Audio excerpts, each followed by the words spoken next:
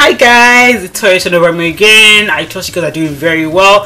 I know, I know, forgive me, I didn't have a video up last week. It's been busy, but I'm here again. I'm going to make it up to you guys.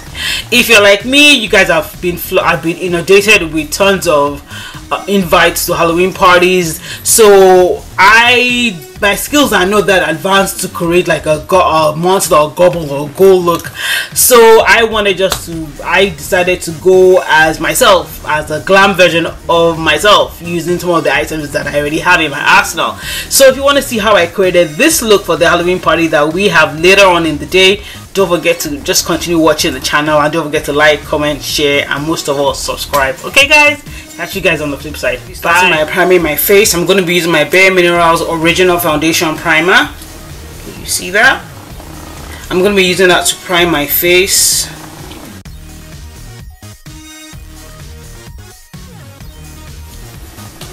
Now before i set my primer i will be taking my la girl pro conceal in the shade orange. You see that? And I'll be using that to color correct where I have my dark spots.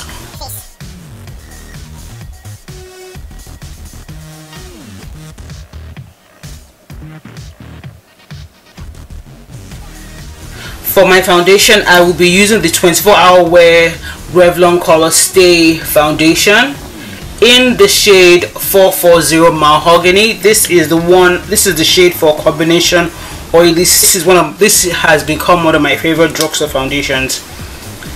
Use it all the time for work because I like the finish it gives me. Foundation I will be using my Sigma F60 brush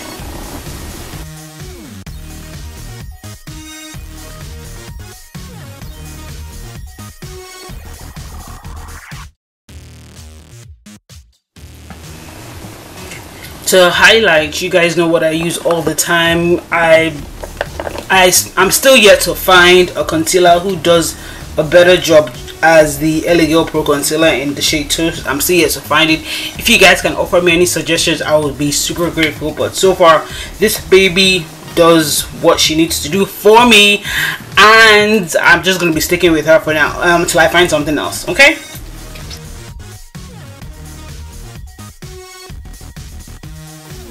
it's always wise to let your concealer sit for a few minutes. So be um before you go out and blend it. So for now i'm just going to go to getting my eyes ready for my eyeshadow. I will be using of course um my LA, my sorry my makeup revolution concealer and define in the shade c11 using that to prime my eyes to get ready for when i'm going to start using the eyeshadow so let's tap that in there. And you guys know what this is. This is to ensure that the eyeshadows I use will pop. I can't remember the last time I actually used an eyeshadow primer because this method seems to be my go-to now. And taking my Morphe MB17 brush and using that to blend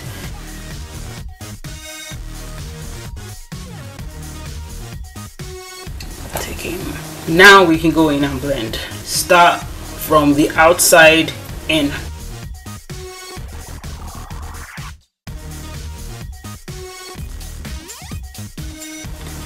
Now for my highlighting powder I will be using my Laura Mercier translucent powder.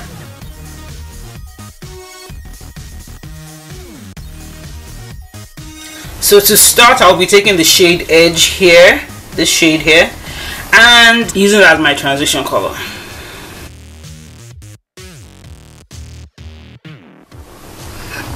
then I will be going into the Jaclyn Hill Ring the Alarm palette and taking the shade Rush to also add to my crease on put to put oh sorry.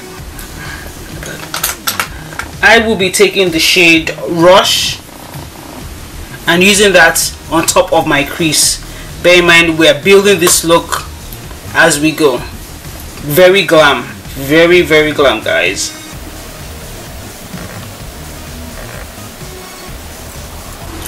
Now to further define my crease I the shade All Star from the Anastasia Subculture palette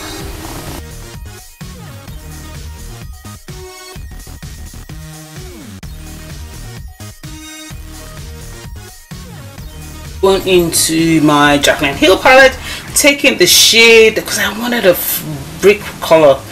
But since we can't find one we're going to be taking the shade framed and siren and using that to further define the crease as well. From the outside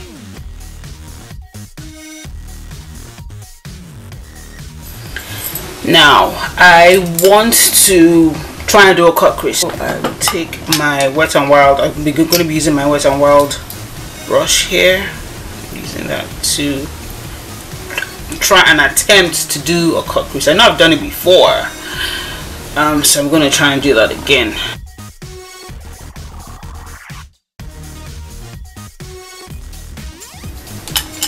Then taking my Morphe shading brush I will be using two colors here. I want to use I'm going to start using the shade Adorn from the subculture palette that's this here and also taking the shade on camera from the Jaclyn Hill palette.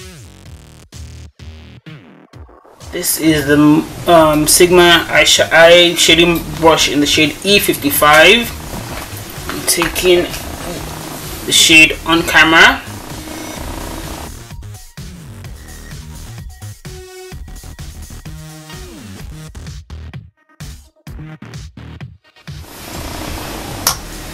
for my inner corner I'm going to be taking my pencil Sigma brush. I have to wet it first. And taking the shade bum ass. And using that for the inner corner okay guys. For my bottom lash line I use my LA Girl gel liner in blue.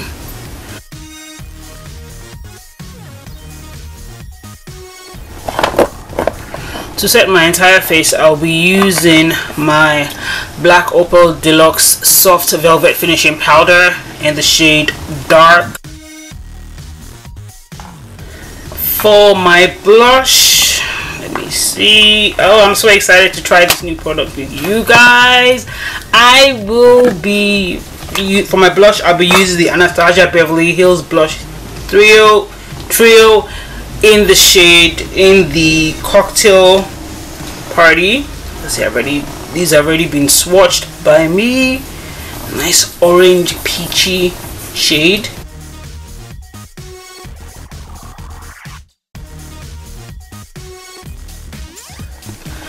For the lipstick, we'll be using the Makeup Geek um, matte lipstick in the shade Flamenco.